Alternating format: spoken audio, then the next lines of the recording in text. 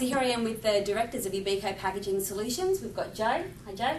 Trina? Tony Katrina, and Bill. Thanks for joining me today, guys.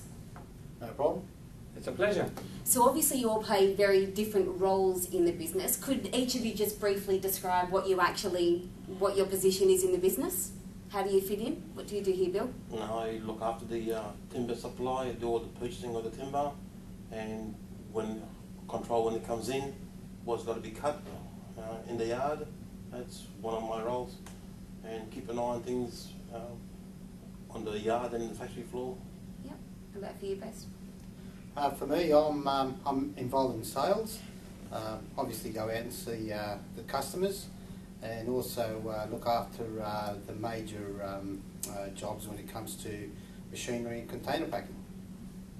Uh, and, and my role is more of a general manager slash business development. Um, and um, it, it's, it's good to, to be where I am for the simple reason that I, I enjoy uh, working in the business as opposed to working outside the business. So just want to talk about obviously 42, 43 years in the packaging industry. Um, what are some of the biggest changes um, that you've had to adapt to in regards to um, packaging or in regards to running the business itself? Well, I remember when we used to when we first started, we had no nailing guns, so we Mm. had a fork and loose nails and a hammer, and that's how we made all our boxes. Do you mean literally a fork or the back of the hammer? Actually, a fork. Right. Yeah. So we used to pick up a fork, uh, spoon it up, uh, carry 100 nails on their fingers, and just go bang them down one by one. Uh, this is Okay. why we've all, the, all of us have got stubby fingers. Right, right, okay.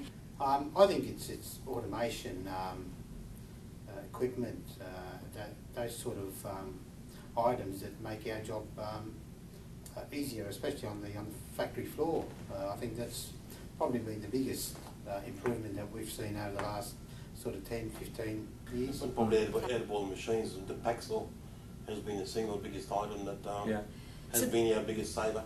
The packsaw uh, cuts whole packs of timber in a matter of, is, would it seconds be exaggerating if I said that? Couple, couple of minutes. couple of minutes to, to cut down a pack. All right, well, I think I've taken enough of your time this afternoon. Thanks very much for joining me, It was very enjoyable, Katrina. and hopefully you'll do it again. Thank you. Yeah, thank yes? Ciao. you.